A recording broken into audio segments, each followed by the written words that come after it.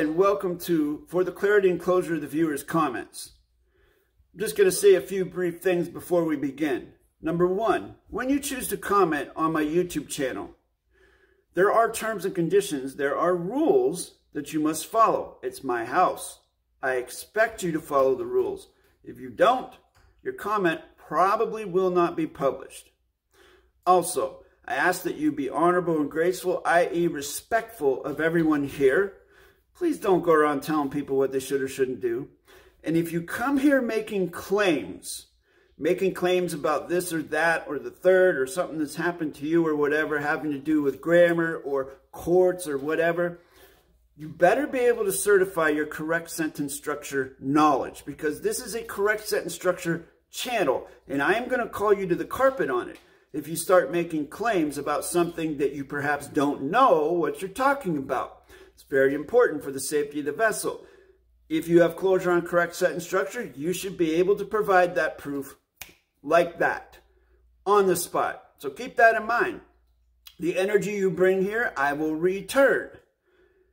I will balance it out with rule one, rule equal. So without further ado, let's get to the comments. First comment comes from M Wills hyphen NN4DO and it says is of the claim with the fact of the and then dollar store quotations claimants hyphen sensation end dollar store quotations with the meat of the cup hyphen standard with the fact by your claimants hyphen knowledge question mark. Which uh, i mean as i have to from what i see here guess that this individual m. Wills has a very rudimentary idea of what correct sentence structure is. I mean they do have a basis. They know how to use positionals and loadials However, they don't know how to position them correctly. So it's a very beginner level. And so what I did in my Kuleana back was to syntax what they wrote and then explain. I said, learn correct sentence structure first before touching your keyboard on this channel. And, you know, sometimes I come in a little soft, sometimes I come in a little hard. And it depends upon the energy of the individual who is commenting, my perception of that energy. And so that's why I did what I did here. And so I'm going to give a little bit more closure to help out M. Wills as my gift to them, as they are a novice. Here's the thing. Every correct sentence structure must start with a cause, and then a concern, and then a verb. And if you're going to do a correct sentence structure question, you would take the verb, put it at the beginning, but that doesn't change the fact that it must start with a cause. So it would have to be is for the claim of the fact with the. Now look, they put, well, you see in the word claimants hyphen sensation, you see after the T, between the T and the S in claimants, there's an apostrophe there. The same symbol is in front of the C in claimant. Incorrect sentence structure. Number one, it's one word, one meaning, one symbol, one meaning, one function, blah, blah, blah. You can't have an apostrophe mean one thing and it means something different when you put it at the beginning. So from what I can see here and from my experience as an English major in college many, many years ago, I'm guessing that they want the apostrophe apostrophe in front of the C and after the N in sensation to be quotations, which is a different function. So you'd have to have two apostrophes together, make a quotation. That's what you would have to have there. But in any case, the reason why it's not correct is because not only he starts off the sentence with of the and then follows with the, which is not correct, but it says of the and then quotations. So basically what it's saying, it's saying is of the claim with the fact of the with the meat of the. You see what I'm saying? Of the with the meat. Because number one, it says of the, and then there's a space, and then the dollar store quotation, and then another, you know the claimant sensation, and then another dollar store quotation, and then another space, and then width. So there's a break in the continuance of the evidence there. Do you see what I'm saying? That is why in the syntax that I do, it says fact, it says of is a is an adverb, the is a verb, and then with is a pronoun. There's double spacing between the two and the four. That's why the first sentence is basically three four one three four one two one two. That's one sentence, and then there's a break in the continuance of the evidence, excessive spacing, two spaces, and then it, the next section starts off with four one three blah blah blah. That's why it looks like that. And claimant sensation is not on the page because it's dollar store quotes. So I hope that clears it up a little bit. I know I kind of got a little long winded there. Bottom line, it's nowhere near correct sentence structure. So hopefully, whoever M. Wills is will get serious about grammar, contact me, apply for a workshop, and get it done. Because I seem to remember other similar things, offerings from M. Wills over the last year or two, and they seem to be stuck in the same place that they've been a year ago. Which I've said it again and again, folks. If you're going to progress, you got to take workshops. You got to find a tutor. You got to put your foot to the pedal, put it down to the floor, commit to it, and do it. Otherwise, you're just going to be in the same place next year at this time as you were this time this year, as you were last time last year. Next comment comes from member April, and they say, I did put that in Google search when you mentioned it in a prior video. Sorry, not sure which one, but I didn't really dig into it yet, but I will. I did get the book Logic by Lionel Ruby. Not sure which video you suggested that in either. It was a library book, so I didn't completely get to the end, but what I did read sure helped. Thank you for that. I did find it in an online archive, so hope to finish it. I prefer books VRS online reading. I think what they are referring to is what I talked about the trivium method, trivium method, which is grammar, logic, and rhetoric. And she's talking about the uh, logic aspect of it. It's a book of logic by Lionel Ruby. There's also plenty of material on the internet regarding logic and logical fallacies and things like that. And there's also a trivium website, which I did post that in the community section of this channel if you take the time to uh, look through that. Next comment comes from Isaac, and they are a member. Thank you very much. And they said, I thoroughly enjoy your efforts in demonstrating the contradictions within the common use of the English language. Your performance underscores the significance of cognizing and assimilating the psychology, of this technology as to avoid contradictions and negative states of condition when employing correct grammar to communicate and contract.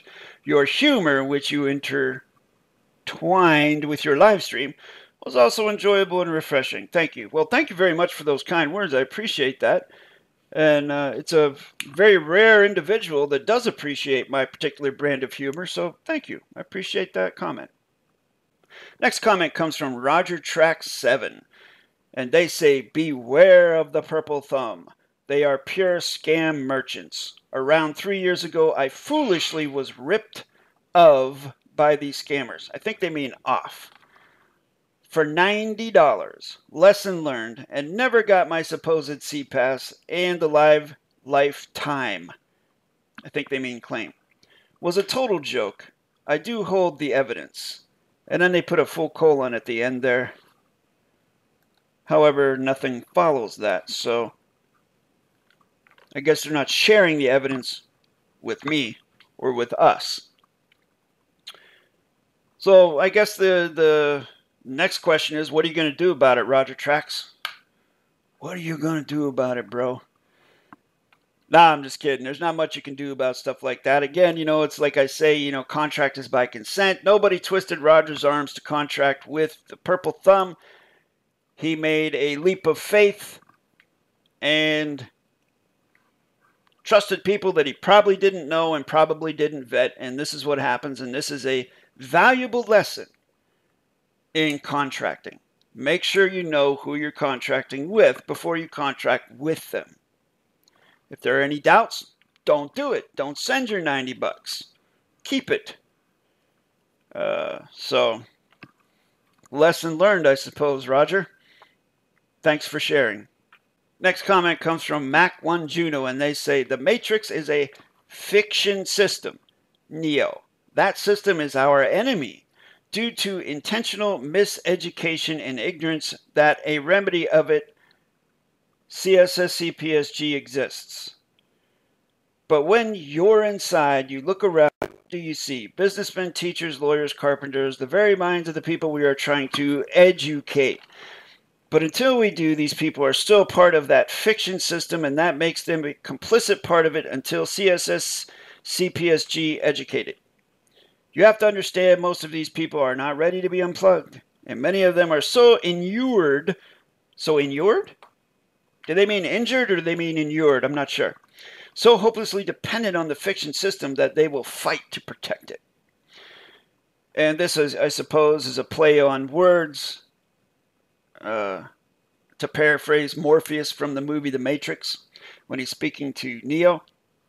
And I did do a text it to this, and I also did a video it to this, and I'll do another video it to this right now. And say that whether someone chooses to be educated or someone chooses to fight to remain a slave to the fiction system, it's a choice. Contract is by consent. And the minute Morpheus and Neo begin thinking that they have the authority to make claims for others, that's a trespass. Each individual, like Neo, must come to that choice by themselves. Can't be forced into it. No one can make the choice for them. They have to do it themselves, just like every other person who remains indentured to the fiction system or those who choose to extricate themselves from it. It's all choice. It's all choice. It's not up to me to decide what the world needs. It's not up to me to suddenly decide that I'm the commander in chief of the world of planet Earth and I decide what's right and what's wrong. It's not up to me because no one gave me their consent for that to happen. And I wouldn't want that anyways. What kind of egomaniac would want something like that? That's a rhetorical question. Thanks for the comment, Mac1 Juno. Next comment comes from Ken, Ken Dreamer. 6376 and they say, I remember see a court brief with his name on in a long time ago, and I thought it was interesting how using colons and hyphen and the like changed the meaning on the document. While I do appreciate the sentiment behind that comment, change is modification, modification is perjury, to quote the late colon David Wynn colon Miller and using colons is just basically, um, they represent position loadial phrases. It's punctuation, positioning your facts with correctness using the mathematical interface on the grammar. Hyphens, of course, bring together compound facts, yada, yada, yada. But it doesn't change the meaning of anything. What it does is give closure to the meaning, would be a better way to say it. Thanks for the comment, Ken. Next comment comes from Conley818, and they say colon veil space colon no hyphen more space colon hiding, and then nothing. So what do we have there? We have a pronoun in veil, and then we have a break in the continuance of the evidence with the colon, and then followed by no hyphen more, which is also a pronoun. A space, and then another break in the continuance of the evidence, which is a colon and then we have hiding, which is another pronoun with a particle of negation ing. Of course, no. No is no. Uh, and there's no full stop at the end, so it's just sort of dangling there. so that is not correct sentence structure. It's just three pronouns. Uh, and I'm not sure what this individual is trying to convey. But thanks for whatever it is you're trying to articulate there, Conley. Next comment comes from user hyphen blah, blah, blah, blah. And they say, in memory, your word is your bond, is what my grandfather is telling me. This is what I recognize in your words of contract. Thank you. You're welcome.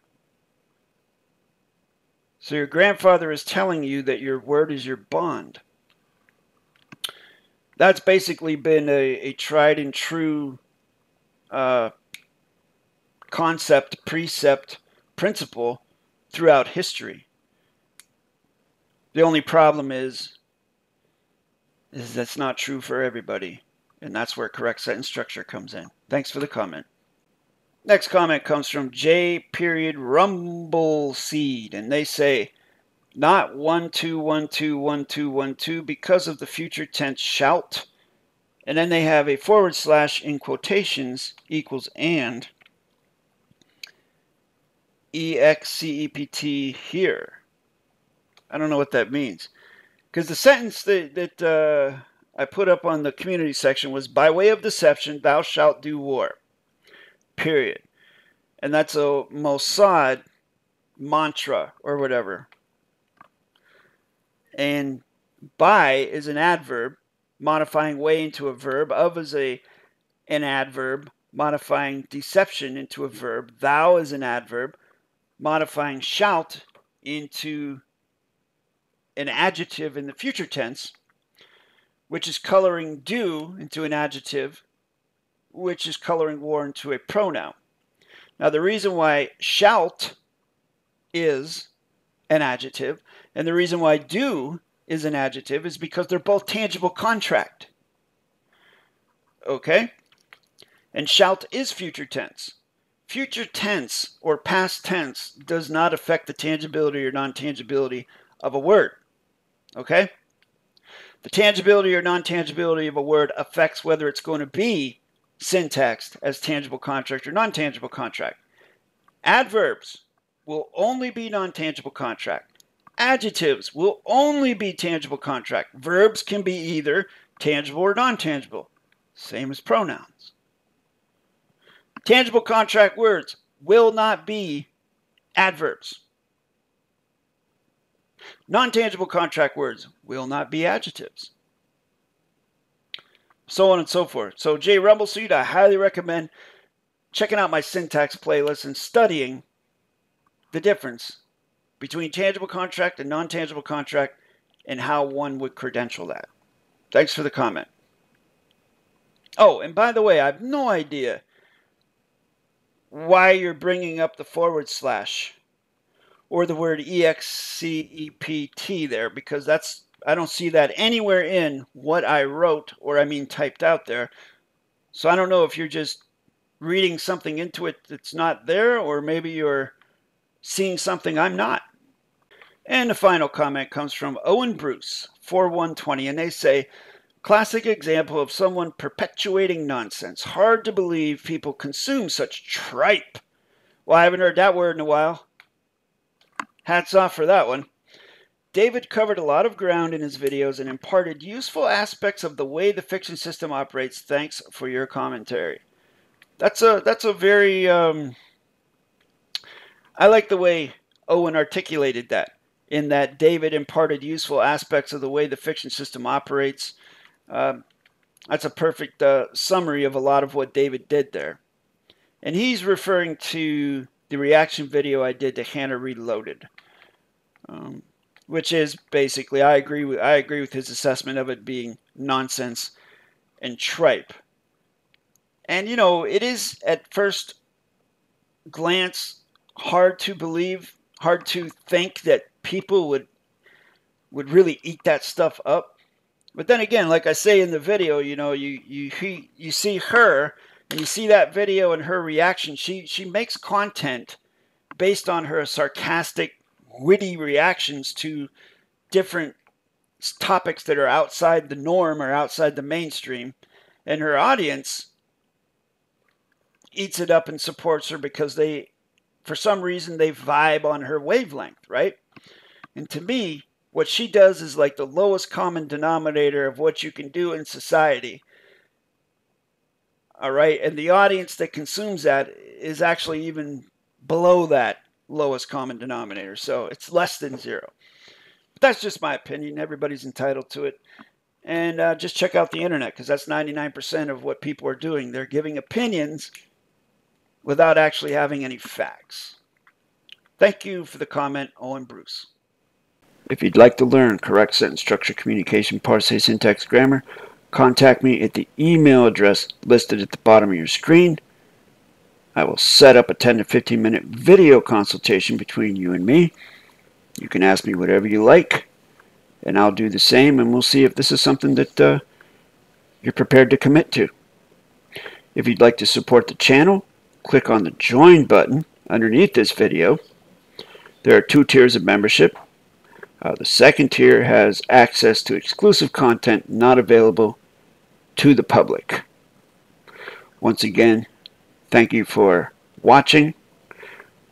Uh, hit the subscribe button, hit the like button, turn the notification bell to all so that you don't miss any of my premieres because I do post on a very consistent basis. There are over 500 correct sentence structure videos for here you to study on this channel. My gift to you, my fellow mankind. Thank you again, and I'll see you in the next one. Thank you.